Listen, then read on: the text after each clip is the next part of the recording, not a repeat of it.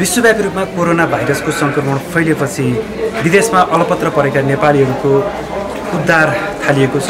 सरकारले पहिलो चरणमा म्यानमारमा रहेका छब्बिसजना नेपालीहरूलाई आज उद्धार गरेको छ र आजै युएमा रहेका दुई सय दसजना नेपालीहरूलाई पनि उद्धार गर्दैछ। जानकारी दिनुभएको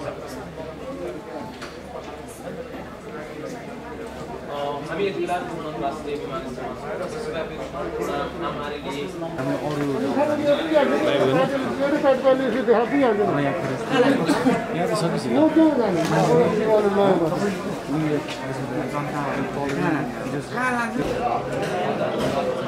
भन्यो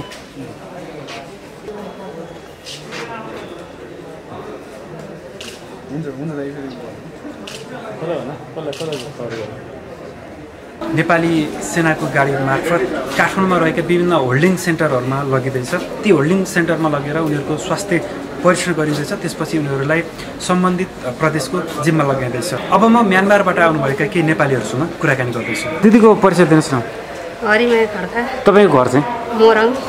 म्यानमार चाहिँ के को लागि जानुभएको थियो? त्यतिकै अब घुम्न गएको थियो ए हजुर। कति दिन बस्नुभयो म्यानमारमा? हामी त तिन महिना पुरा। तिन महिना बस्नुभयो। कसरी बस्नुभयो लक- लकडाउनको बेलामा? लकडाउनमा हामीलाई एमबिसीबाट मिलाइदिनु भयो। ए के को बस्ने। बस्ने ठाउँ नेपाली एमबिसीबाट मिलाइदिनु भयो। ए कतिजना जानुभएको थियो तपाईँहरू? हामी दुईजना। ए अनि यो नेपाल फर्कने वातावरण कसरी मिल्यो कसरी सरहरूले नै मिलाइदिनु भएको हामी त वहीँ गयौँ वहीँबाट मिलाइदिनु ए ए हजुर हजुर हामीले केही गरेनौँ होइन। हामी दुईजनाको चाहिँ एमबिसीको सरहरूले नै गरिदिनु भयो ए कतिजना जानुभएको थियो तपाईँहरू? हामी दुईजना थियौँ त्यही दुईजना आयौँ ए अनि तपाईँहरूको त स्वास्थ्य परीक्षण पनि भयो। हजुर। अहिले कस्तो लागिरहेको छ अहिले नेपाल फर्कन धेरै खुसी लागेको छ नि। अब उहाँ त अर्थक भन्दा नि बोली भाषा नबुझेर कति गाह्रो भएको थियो। यहाँ त अब जे पनि भाषा आफ्नो बुझिन्छ होइन बोलिन्छ सजिलो भइरहेछ नि। खुसी लागिरहेछ। कमला पौडेल। ए हजुर। उहाँ। तपाईँ घर पनि मोरङ हो? हजुर। ए हजुर। के को लागि जानुभएको थियो म्यानमारमा? हामी घुम्न। ए हजुर। कति दिन बस्नु पर्यो म्यानमारमा? हामी कति फे फेब्रुअरी बिसमा छिरेको अहिलेसम्म कति भयो? तिन चार महिना भइसक्यो। हजुर। म्यानमारमा कस्तो छ त्यो कोरोना भाइरसको सङ्क्रमणको अवस्था छैन। त्यहाँ छैन? छैन। बाहिरबाट आउने थाई हुँदीबाट आउनेले अलिअलि ल्याएको छ नभए छैन सुनेको छैन। हजुर त्यहाँको सरकारले लकडाउन नेपालमा जस्तै जारी गरेको छ? त्यहाँ पनि लकडाउन नै छ। अहिले चाहिँ खोलेको छ। अहिले खोले अहिले खोल ए हजुर हजुर। अनि जस्तो त्यहाँ रहेका अरू देशका नागरिकहरूलाई पनि उद्धार भइरहेछ म्यानमारमा रहेका अँ थाईबाट ल्याएको ल्याइछ ए हजुर हजुर हजुर। थाईबाट ल्याएको छ। यहाँ नेपाल लिन आउँदाखेरि नेपालमा फँसेका नेपालीहरूलाई लिन आउँदाखेरि हामीलाई पनि ल्याइदिएको हजुर त्यो कति छन् नेपाल नेपालीहरू? अरू बाँकी पनि छन् कि अथवा थाहा छैन। कस्तो लागिरहेछ अहिले नेपाल फर्कि फर्किन पाउँदाखेरि? खुसी लाग्यो नि। आफ्नो मातृभूमि आउन पाउँदा रमाइलो लागेको हजुर हजुर। तपाईँ चाहिँ के को लागि म्यानमार जानुभएको थियो? घुम्न। घुम्न जानुभएको हजुर। आफन्त रिलेटिभहरू हुनुहुन्छ धेरैजना भेटघाट गर्नु।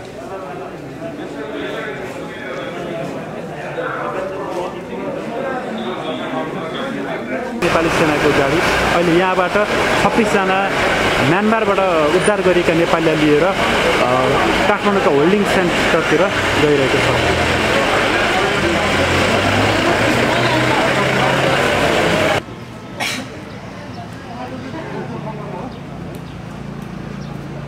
यति बेला हामीसँग महिला बालबालिका तथा ज्येष्ठ नागरिक मन्त्री पार्वत गुरुङ हुनुहुन्छ।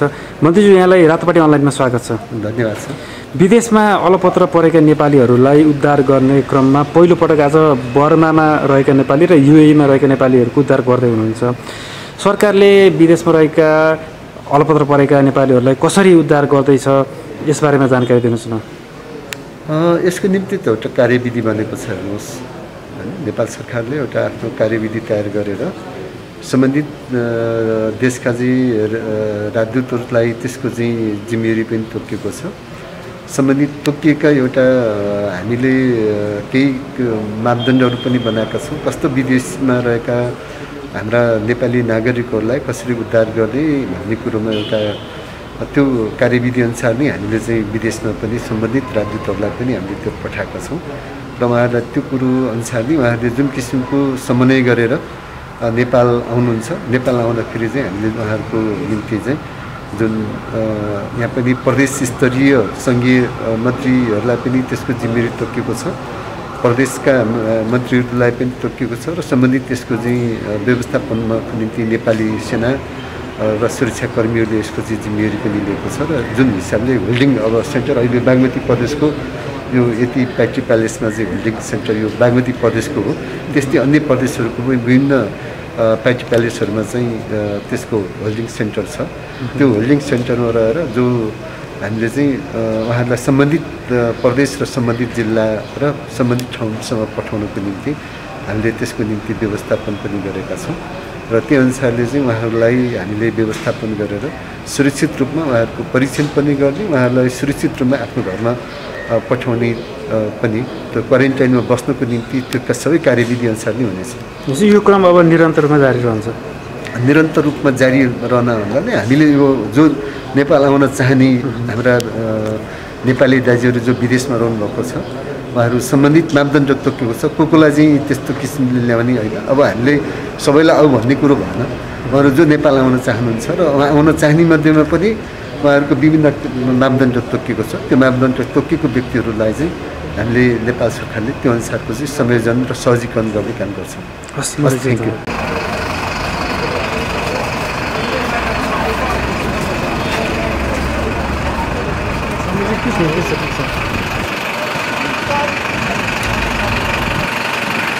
म्यानमारबाट उद्धार गरेर लिएर आएका नेपालीहरूलाई अहिले यो वसुन्धरामा रहेको यति प्याकेट प्यालेसको होल्डिङ स्थलमा लिएर आइएको छ अहिले यात्रुहरू यो नेपाली सेनाको गाडीबाट लिइरहेका छन्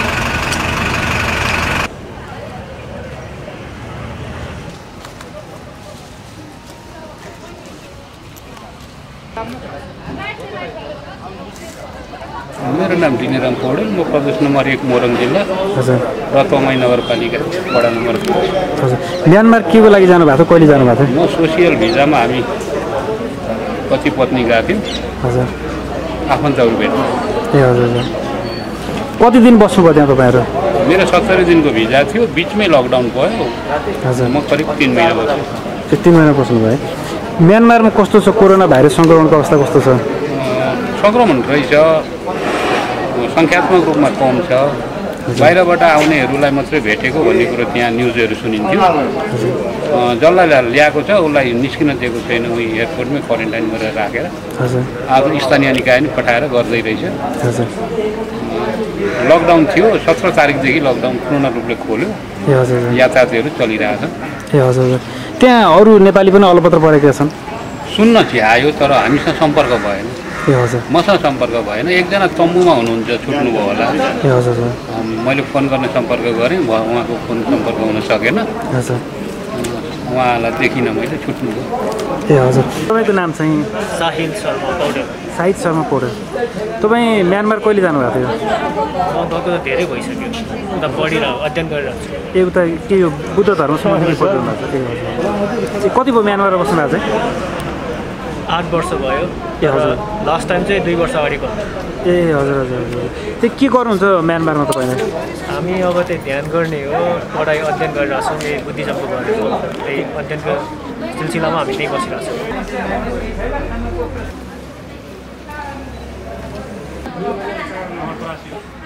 परिवार र समाजमा यो रोग नफैलोस् र यो रोगबाट म आफू परिवार र देशलाई बचाउन अनुशासनका सबै नियमहरू हुबहु पालना गर्नेछु।